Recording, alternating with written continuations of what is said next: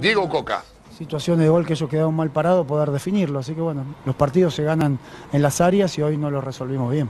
¿Qué le tiene que pasar a un equipo, Diego, para que cambie tanto de un tiempo a otro? Fue un Racing en el primero y uno muy distinto en el segundo. lo que pasa es que el rival eh, propuso otra cosa. Cuando propuso esperarnos y dejarnos la pelota, lo resolvimos bien, nos, pusimos 2 a 0. Cuando ya propuso presión más alta, luchar el partido, pelearlo, disputarlo y a lo mejor estuvo medio regalado para las contras, no pudimos aprovechar las contras y no supimos pelear el partido. Así que bueno, son conclusiones que tenemos que sacar, tenemos que...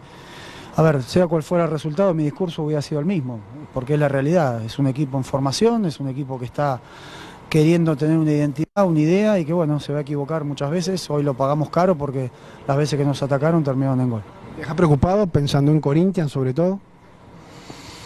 Mira, eh, me deja preocupado porque tenemos que solucionar esos, estos temas que son importantes porque te marcan los resultados.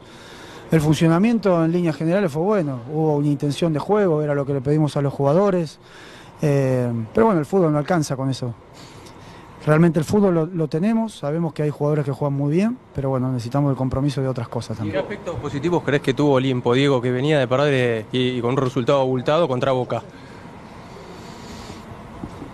Yo creo que el segundo tiempo de Olimpo fue práctico, fue, fue simple, jugó pelotazos largos, aguantaron bien los nueve y llegaron.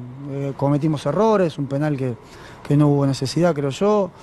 Este, y bueno, muchos aprovechan los errores del rival, el fútbol también es válido eso. Digo, inconscientemente eh, se subestima, no, digo al, rival, sino al desarrollo, desarrollo, del partido, el estar ganando 2 a 0, el estar tranquilo en ese sentido, ¿se subestima tal vez inconscientemente a veces? No, yo creo que no, yo creo que eh, en el primer tiempo fue un partido en el cual nos invitaron a jugar y jugamos, y jugamos bien. En el segundo tiempo no nos invitaron a jugar, en el segundo tiempo era luchar, meter y correr, que también hay que hacerlo, hay que ser práctico, hay que liquidar el partido, hay que mantener el arco en cero y no lo supimos hacer. Así que lo hizo mejor Olimpo y bueno, nos toca una derrota que duele porque nos quedamos afuera de la Copa Argentina, que para nosotros era importante, pero bueno, seguimos con el mismo discurso, hay que mejorar.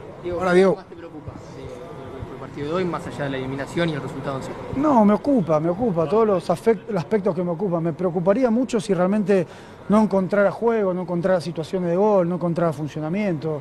Yo confío en que armamos un plantel con jugadores que juegan muy bien al fútbol. No alcanza con jugar bien al fútbol, hay que hacer un montón de otras cosas. Pero bueno, esas un montón de otras cosas ya vendrán con el tiempo, con el trabajo. Diego, el equipo. Ahí se va.